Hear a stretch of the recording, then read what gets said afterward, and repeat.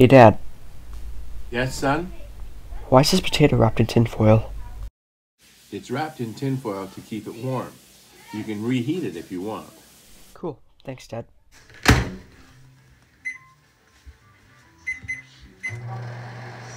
You remembered to take the foil off the potato before you microwaved it, right? Wait, no. Turn it on high. Let's see what happens. What are you talking about? Wait, what?